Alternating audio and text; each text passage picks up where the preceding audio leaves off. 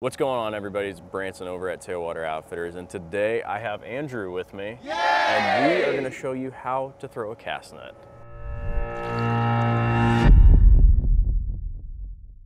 All right, so the net that we are throwing today is the Black Pearl. Now this is a 10 foot and the mesh is the 3 eighths and the weight is a 1.3 pound. So reason why we're throwing this is because this is the net that we recommend for pretty much everybody that comes into the shop.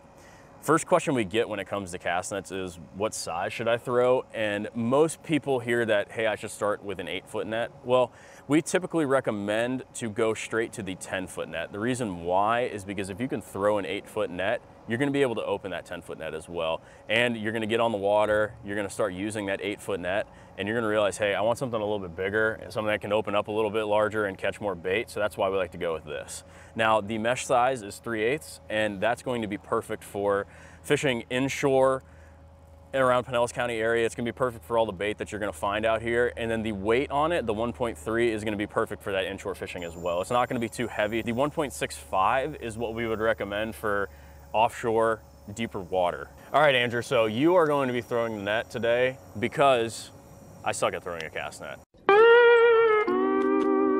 So um, pretty self-explanatory. Uh, I push a loop through and then I'm gonna coil up all my, all my line.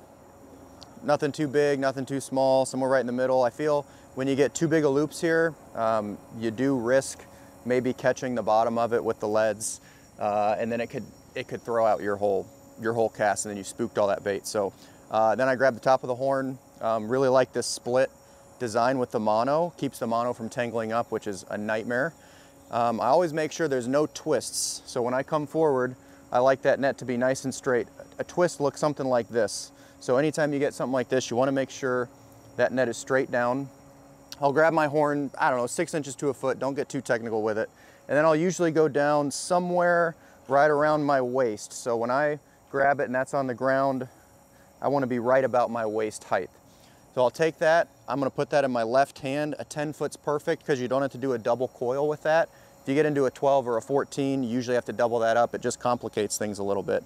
So then from here, I'm in my left hand, I throw the hand, or I throw right-handed.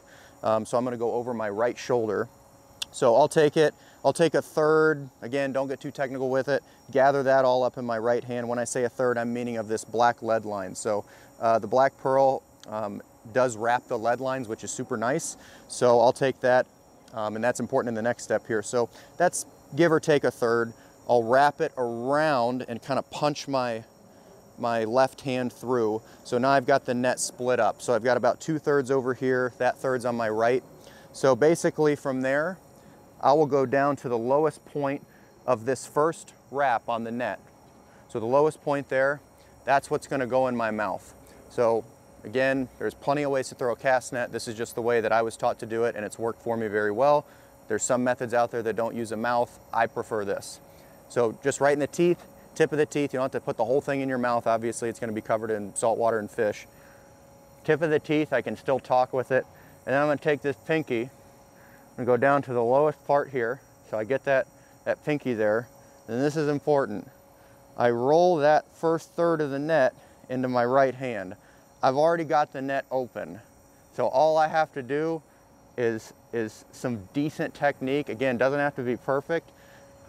I really like this technique because you can make a poor throw and still open a good, a, a very good portion of the net. Um, so obviously when you throw 10 or 15 times, you're gonna get tired regardless of how lightweight or heavy the net is. So I really like this method. So right back in the teeth. Again, that net's already most of the way open. And then the key here is to load the net as much as you possibly can. Use your body weight. So I'm gonna kind of rock back, let the net wrap around me. I'm gonna kind of throw up and then my whole, my right hand comes off the net first, but here's the kicker. The right pinky comes off the net last.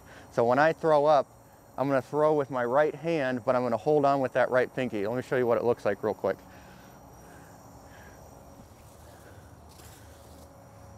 So pretty good toss, not perfect, but again, that's why I like this method. You can make a mistake. Uh, that left side of the net didn't open. I'm, I'm still 85% of the way open. Um, I didn't throw out all my line, but I like this method too because instead of opening right at the front of the boat where you get no distance on it, say that bait's a little bit further off the boat, it's a little spooky that day, I can throw this method, that's 10 feet away from me. So 10 feet being at the front of this lead line that's closest to me, which means the back of that lead line is almost 20 feet plus away from me. I can really reach out there and get a lot of bait. So again, that's just the method I use. Um, there's a lot of other methods out there. This is the one that works for me and this is the one I'm gonna keep throwing. All right, so thanks for watching. Of course, hopefully that helped you. Tell us also if you liked Andrew. Like, subscribe, share, tell your friends, and we'll see you next time.